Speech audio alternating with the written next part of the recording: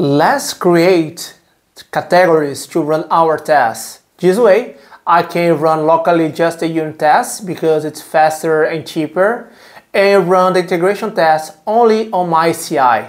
So I can explore the possibility to create categories on my JUnit Jupiter.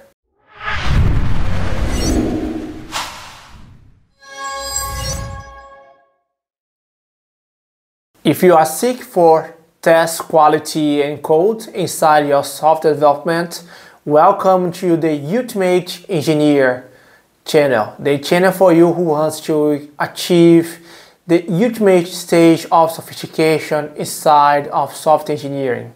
So please subscribe on my channel. Okay everyone, let's give the scenario.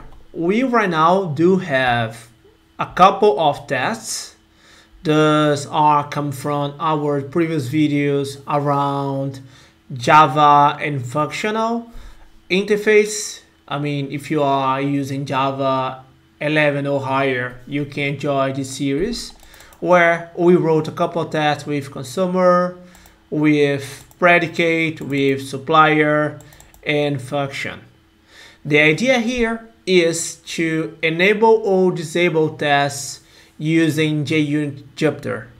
This one is really useful where you have integration tests. Of course, we need to run, but we don't need to run it all the time. So I will run this test here, mvn clean test. It will run and let's see the number of tests that we're gonna have. So it's running and as you can see, right now we do have 11 tests. Our goal is to decrease somehow or enable disable those tests. Today I will show um, three ways. The first one is using in exploring tags.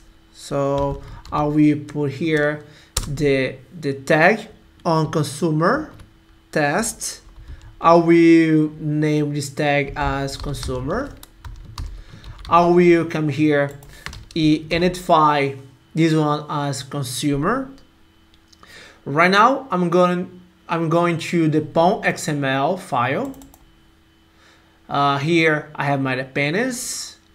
Uh, don't worry, I will put the repository source below on description. And right now, what I need to do I have my Surefire plugin and I have my configuration.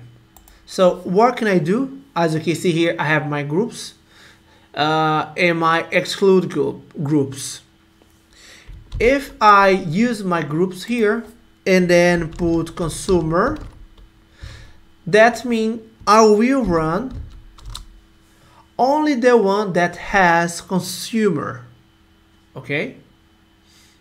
So it will run. And right now, instead of 11, I will run just two tests. Of course, I can do the opposite. So I will run everyone except the consumer one. So I will exclude these groups. And then I will run again.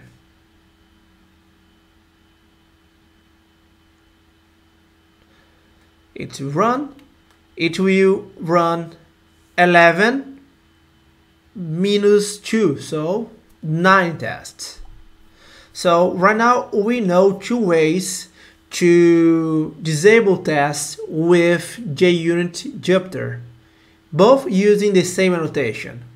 Add tag in the test that we want to use and then go to Surefire and do it at the POM XML of course, you can, if you wish, enable or disable that in the console as well. Move on to the third one. So I will comment here the text. So right now when I run, I will, oops, not you, clean test. I will return to run the whole 11 tests that I have on this project and give the scenario where I want to enable or disable those tests using a system property.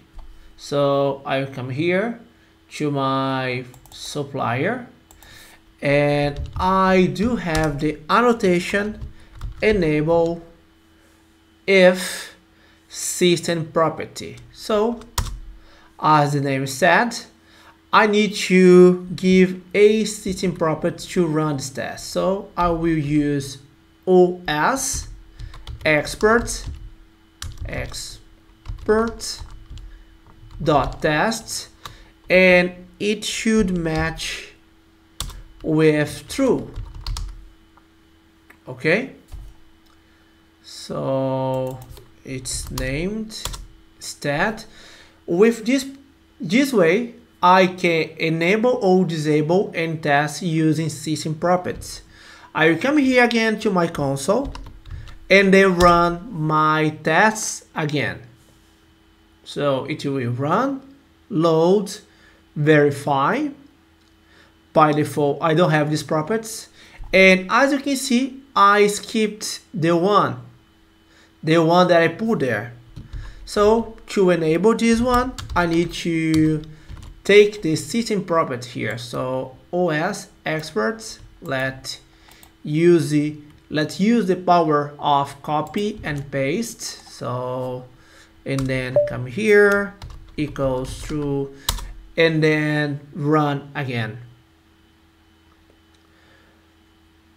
And it will run let's see it run out it run the whole 11 tests again today i just showed just a brief information around conditional test execution. Uh, as recommendation the documentation is an excellent guide for you to go to understand more.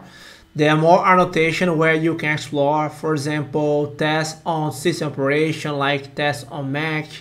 Uh, you can test on architectures, you can test on Java version and so on. So explore the documentation, the JUnit uh, user guide from the version, the section 2.8, the conditional test execution.